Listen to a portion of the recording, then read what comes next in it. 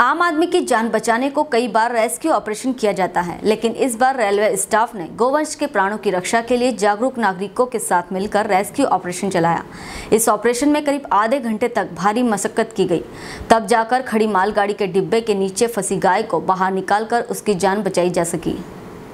एक गोवंश की जान बचाने के लिए गंजबासुदा रेलवे स्टेशन का स्टाफ सामने आया और आधे घंटे तक बड़ी मेहनत करने के बाद मालगाड़ी के डिब्बे के नीचे फंसी गाय को बचाकर प्राणों की रक्षा की गई।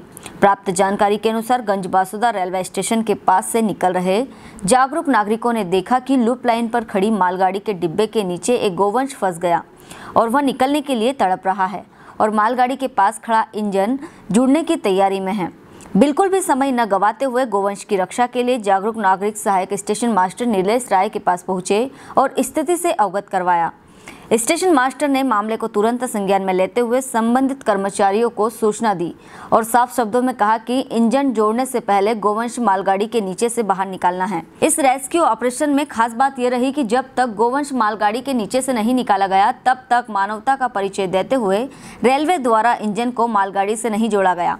अगर इंजन को मालगाड़ी से जोड़ा जाता तो मालगाड़ी आगे पीछे होते ही गोवंश की जान जा सकती थी।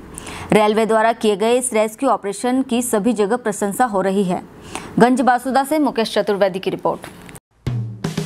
हेलो फ्रेंड्स आप देख रहे हैं हमारा channel S W twenty four news हमारे सारे वीडियो सबसे पहले देखने के लिए आप हमारे चैनल को सब्सक्राइब करें और पास में लगे बेल आइकन को दबाना बिल्कुल भी ना भूलें।